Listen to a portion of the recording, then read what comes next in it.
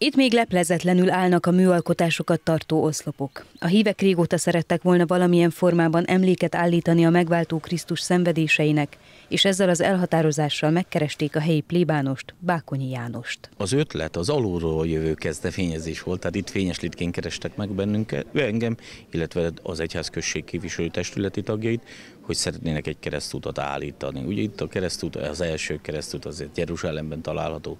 Gabbatától ugye vezetett a Golgotáig, az egy 500 méter, egy 0,5 kilométeres út, amelyet a keresztények már kezdetekkor kövekkel, kis kápolnákkal jelöltek, Jézus szenvedésének állomásait, és utána ebből fejlődött ki egy ilyen 14 stációs imádságos keresztút, és amikor itt megkerestek, akkor úgy örömmel bólintottam rá, és ott érdeklődés volt, hogy na, akkor a megvalósításban hogyan és mi módon induljunk el, tűzzománztól kezdve faragásig, fáig, sok minden előjött,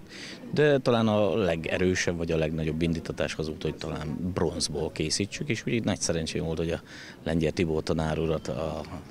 művész urat ismertem még Nyíregyházáról, és akkor őt kerestük meg, hogy ő ezt el tudná -e vállalni, és nagyon szívesen rábólintott. Maga a szobrászművész Lengyel Tibor leplezi le a bronztáblákat a stáció egymást követő állomásain. Azt mondja, ez a munka életének olyan szakaszában találta meg, amely magát az alkotás folyamatát még különlegesebbé, emlékezetesebbé tette. Istennel élő, lelkében Istennel élő emberként el tudom mondani, hogy ez számomra egy ima volt, amíg a 14 stáción gondolkodtam, dolgoztam Ismerve ugye a történetet, ez a 14 állomás, ez már a középkorban kialakult, tehát rögzített, ezek, ezek kötelező, megjelenítendő történetek.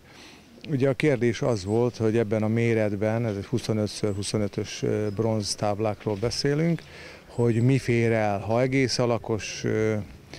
kompozícióban gondolkodtam volna, akkor olyan kicsi lett volna minden egyes alak, hogy, hogy talán nem élvezhető, nem látható a lényeg. Ezért úgy döntöttem, hogy igazából Jézus arca mindegyikképpen van, és egy, egy ilyen erős kép kivága, tehát egy ilyen